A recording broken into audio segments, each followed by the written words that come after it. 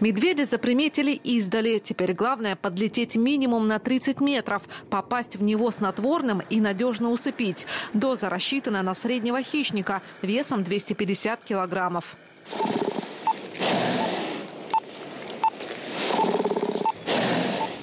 Через несколько минут хозяин Арктики глубоко заснул, а при ближайшем рассмотрении на радость ученым оказалось, что это вовсе и не хозяин, а хозяйка.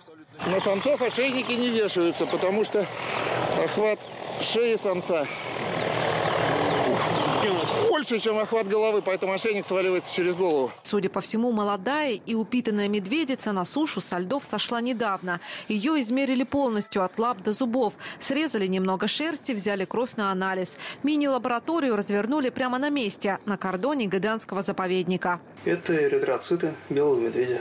Кровь – бесценный материал для проверки здоровья, качества питания и уровня загрязненности мест обитания. Ученые медведицу не бросают, ждут, когда проснется, чтобы понять ее состояние. Остров Вилькицкого и вновь удача. Невероятно, но эта красавица еще толще. По пятибальной шкале на твердую пятерку. Скорее всего, на дрейфующем льду медведица удачно поохотилась на тюленей. По последним наблюдениям все больше медведей остаются на островах.